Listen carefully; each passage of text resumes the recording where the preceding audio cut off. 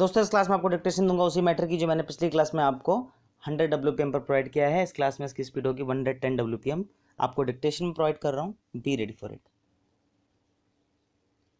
mister deputy chairman I rise to support the foreign contribution regulation bill which has been brought to replace the Foreign Contribution Regulation Act 1976 as amended in 1984. This bill empowers the government to inspect and seize accounts or records if it suspects contravention of the provisions of this act. The bill contains 11 chapters and 54 clauses. This bill prohibits organizations of political nature from accepting foreign contribution. The power to declare an organization to be one of political nature rests with the central government. The bill prohibits acceptance of any foreign hospitality by members of legislature or judges or office bearers of political parties or officials of the government, the bureaucracy. By introducing this bill, this august house has risen to address a much felt need. I congratulate the honorable minister for this effort over the years, huge amount of foreign money has been pumped into India in the name of charity. This legislation shall not be mistaken as one to prevent organizations doing real charity. The work of such organizations may be appreciated.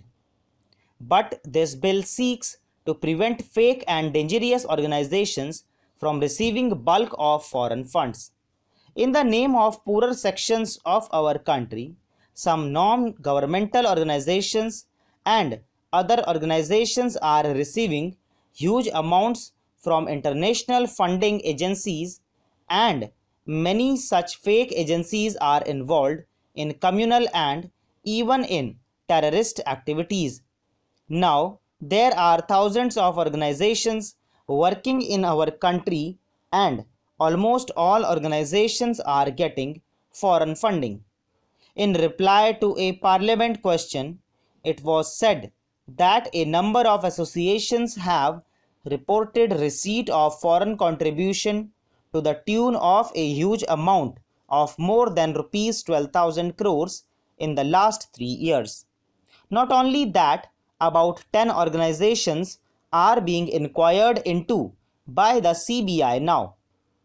Should it be allowed to continue like this or should some corrective measures be taken to restrict the flow of funds into our country? This bill is brought for that genuine purpose. This bill is also meant for protecting the people of our country from terrorist activities. The purpose of the bill is to defeat the agenda of terrorists. I would like to recall an incident which took place in our state. Recently, there was some hidden evidence that two containers of fake Indian currency arrived and that money was distributed to terrorist groups which are active in our state. In this regard, I would request the Honorable Home Minister to conduct a thorough inquiry into this matter. People are suspecting the involvement of foreign agency in it. Charity begins at home is not just a saying, it is a fact. We, as the largest democratic country in the world, must enact a powerful legislation to prevent unregulated flow of foreign money. Anti-nationals organizations should not be allowed to take advantage of the word charity. Without money and resources, terrorist outfits cannot work. Strict vigil is needed in this regard. India is an emerging economic power. It is a welcome step that the bill prohibits organizations with political agenda from destabilizing our country through foreign funding. In the past, foreign agencies promoted divisive movements, regional and linguistic movements in various parts of the country. We are unable to check the flow of funds into the hands of such organizations effectively. The sole authority should rest with the central government to declare an organization or an NGO to be of political nature. Even though wholeheartedly I support this provision, I urge the government that an NGO or an organization may be given a right to appeal against the decision of the central government to prove its veracity. Apart from this, the bill has come up with many positive provisions in view of the felt need. I would wholeheartedly appreciate the decision of the government to exclude the receipt of foreign scholarships and stipends by Indian citizens studying in India or abroad from the provisions of this bill. This bill will be beneficial to tens of thousands of poor students in India and abroad. I would also like to point out two, three small things. I welcome the restriction on the use of foreign funds for the purpose of administration of NGOs to 50%. The bill entails maximum utilization of funds for the benefit of poorer sections of our country.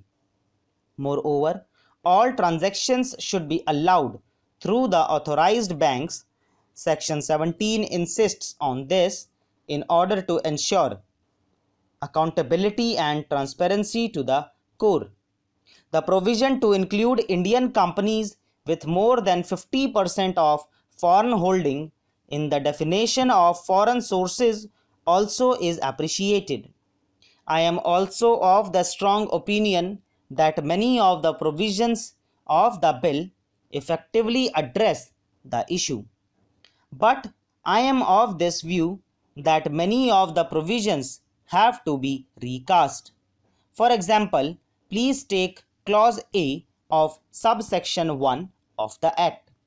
As per the clause, this act extends to the whole of India and it shall apply to citizens of India outside India. This is not enough. Suppose a person who is a citizen of India acquires a huge foreign contribution in violation of this act and acquires a citizenship of another country, then it is impossible to proceed against him. Hence, we have to recast the words applicable to in all such cases. Chapter 4 may be modified in such a way to give power to auditing authorities to have a vigil over the expenditure carried out by the agencies who receive foreign contributions. Penal provisions contained in Chapter 8 may be made more stringent.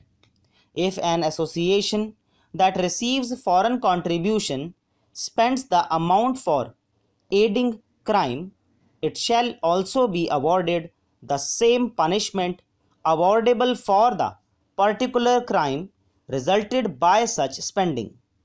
The principle contained in section 34 of IPC may also be incorporated in this bill.